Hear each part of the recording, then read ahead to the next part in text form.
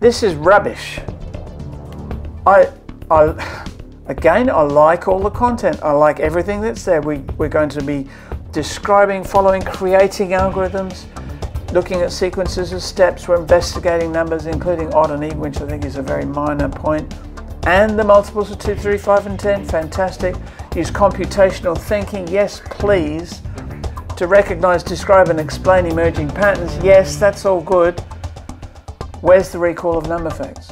Students are being asked to recognize and explain patterns. Presumably, we are allowed to explore patterns. We can find patterns. We can discover patterns in basic addition facts up to 10 plus 10. Here's a point you could have stopped at 9, but anyway, up to 10 plus 10 and related subtraction facts. We're looking at patterns, we're investigating patterns, we're looking at patterns, we're explaining patterns. And then we've got extend and apply these patterns to develop efficient mental strategies. It's almost memorization for computation with larger numbers. It sounds pretty good, except no one's being asked to memorize anything. So no one's being asked to recall anything. There's no recalling of number facts.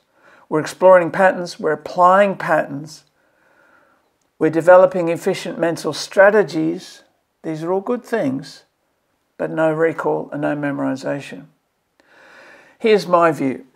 We're not, I'm not proposing that anybody go back to rote learning. Far from it. We should be exploring patterns. We should be teaching children about the patterns that exist in the addition facts and the subtraction facts. We should develop mental strategies. I talk a lot about this in lots and lots of my videos.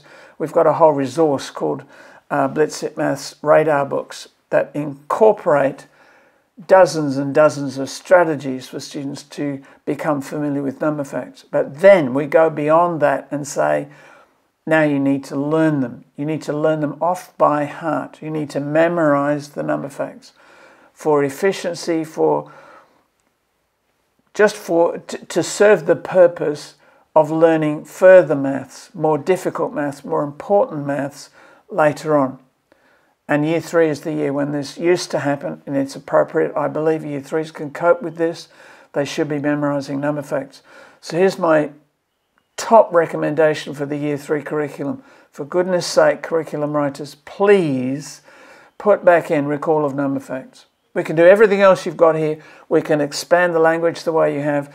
I love all the things that you've done here, except for one thing, and that's you've removed recall of number facts. If you'd put that back in, everybody would be much better off. All the year three students and all the year three teachers, especially.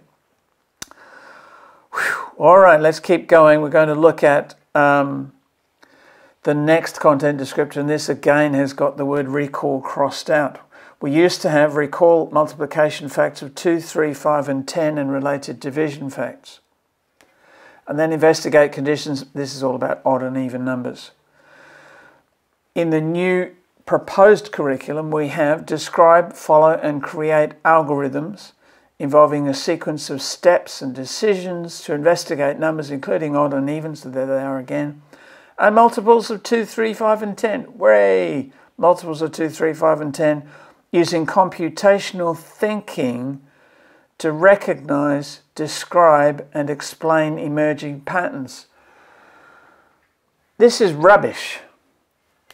I, I, again, I like all the content. I like everything that's there. We, we're going to be describing, following, creating algorithms, looking at sequences of steps. We're investigating numbers, including odd and even, which I think is a very minor point. And the multiples of 2, 3, 5, and 10. Fantastic. Use computational thinking. Yes, please. To recognize, describe, and explain emerging patterns. Yes, that's all good. Where's the recall of number facts? Why, oh, why, oh, why, curriculum writers, have you got rid of recall of multiplication facts? It wasn't that difficult and it is that useful. Seriously, this is ridiculous. I'm sorry for getting emotional. I'm sorry if I've, I've upset anybody watching this video, but this is wrong. We should not get rid of recall of basic multiplication facts. And when we get to year four, I'll say it again, Year 4 should be memorising the rest of the multiplication facts up to 9. It's not that far. And all the rest of it is great. So we explore, we investigate, we find patterns, we develop strategies, we develop computational thinking, we find shortcuts for doing things, and we expect students to recall number facts. That's what it should say. It used to say that. For the last 10 to 12, what is it? it must be 12 years. Starting in 2010, students in year three have been required to recall all the addition and subtraction facts and these simpler multiplication facts and related division facts, the twos, threes, fives, and tens. So we've been doing it for 12 years. I don't see any problems with students knowing the number facts, having memorized the number facts, being able to recall the number facts. We can fiddle with the language, but those key processes should be in the curriculum. This is a mathematics curriculum. Beyond this, students are going to have to tackle bigger numbers and smaller numbers, digital fractions, common fractions, any number of mathematical topics, all of which will be easier to do if the students can memorize the number facts. This is so important and it's so frustrating to see somebody come in here and interfere with the content that was perfectly acceptable, perfectly useful. We could add the language. I love that. I've said it before. I love the extra language. But don't play around with number facts and say, oh, by the way, we think you shouldn't be learning to memorize number facts. Let me deal with this right now because this is probably the best place to put it. I think the reason for this is somebody with an academic background has decided, it's not just one person, of course, it's a sort of a movement in the maths education field. Academics have said memorization of number facts is not necessary if students can explore the numbers, explore the patterns, find the patterns, describe the patterns, explain the patterns, and if they can do all of those things, they will have a far deeper, greater knowledge of numbers and how they're put together and how they relate to each other so that no one needs to memorize number facts. That all sounds great from a theoretical point standpoint, from an academic standpoint, maybe. I used to be an academic. I was a classroom teacher for 16 years. I went to university, did two postgrad de- degrees, lectured at university level to pre service teachers for another 16 years, and then went back to a little bit of classroom teaching. So I do know what I'm talking about from both perspectives from the classroom pr- practitioner perspective and also from the academic perspective. I know where the academics have come from. I understand the idea of of developing deeper understanding of mathematics and really helping our students to improve the knowledge they have of, of the concepts in maths and so on. I think that's what's happened. Academics have got in here and said, no, no, no.